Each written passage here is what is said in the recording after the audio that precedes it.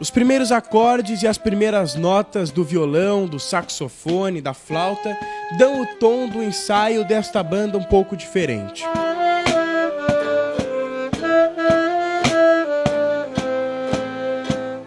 Aqui os músicos são pequenos e a letra da canção foge do que estamos acostumados a ouvir.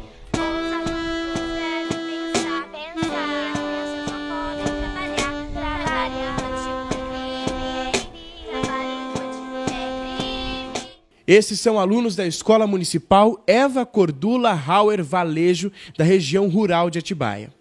Pequenos músicos e vencedores de prêmios importantes, como o MPT na Escola, um projeto do Ministério do Trabalho que desenvolve com alunos de todo o país projetos ligados à prevenção do trabalho infantil. Os alunos trabalham constantemente o trabalho infantil. Eles trabalham uh, durante o planejamento, a, na elaboração semanal do professor, é separada uma aula lá para que isso aconteça. E utilizada várias estratégias, metodologias, né? Como textos, filmes, palestras, é, rodas de conversa, entre outros. Ganhar a etapa regional não foi assim tão fácil. A criançada teve que ensaiar bastante.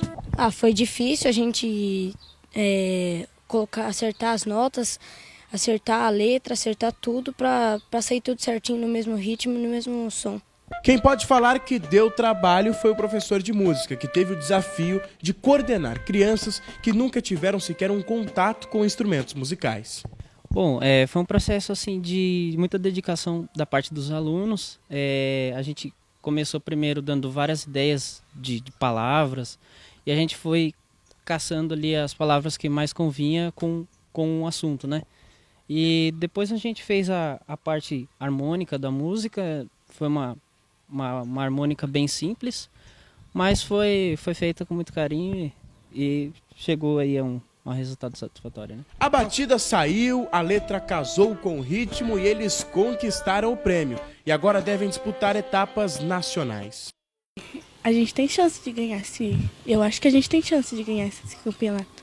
Eu tô sentindo o cheiro de vitória já no ar. E eles que já sentem o cheiro da vitória já começam a planejar como vão utilizar o prêmio para ajudar a própria escola. Sim, a gente pretende melhorar a escola. Em que, por exemplo? Ah, é melhorar o gramado lá, lá perto do pátio e fazer outras salas é uma surpresa, né, em ver essa ideia da parte deles, né, eles preocupados com o espaço da escola que, que eles mesmos utilizam, né. Eu fico surpresa e muito feliz que eles tenham esse objetivo.